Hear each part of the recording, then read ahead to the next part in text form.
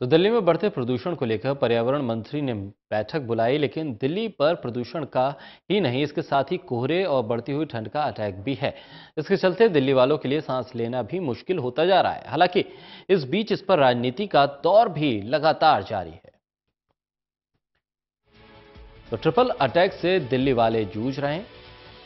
कपा देने वाली ठंड की चपेट में दिल्ली एनसीआर है। घने कोहरे और शीत लहर के चलते लगातार पारा गिरता जा रहा है और कड़ाके की ठंड पड़ रही है। कड़ाके की ठंड के साथ प्रदूषण का स्तर भी चरम पर है। न्यूनतम तापमान तीन दशमलव आठ डिग्री सेल्सियस तक पहुँच गया है। यह सीज़न का दूसरा सबसे न्यूनतम तापमान बताया गया हवा की गुणवत्ता में कुछ मामूली सुधार ज़रूर हुआ है, लेकिन हवा की गुणवत्ता अभी भी खराब है। हवा की क्वालिटी गंभीर से सुधर कर वेरी पुअर की श्रेणी में आ गई है। सर्द हवाओं के चलने से हवा की गुणवत्ता में सुधार देखने को मिल रहा है। बढ़ते प्रदूषण पर सरकार नसीहत भी दे रही है।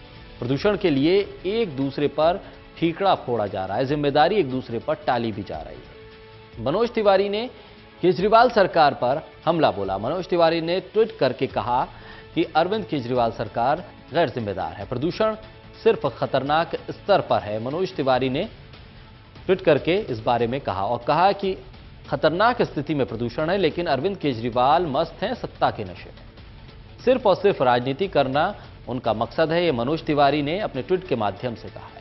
मनोज तिवारी ने आगे कहा है कि पब्लिक की सांसों की चिंता कर लो भाई।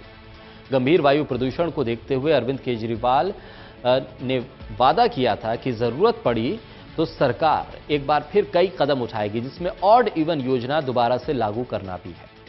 हर किसी को वायु प्रदूषण घटाने के लिए काम करना होगा, ये अरविंद केजरीवाल ने कहा था ताकि वायु प्रदूषण से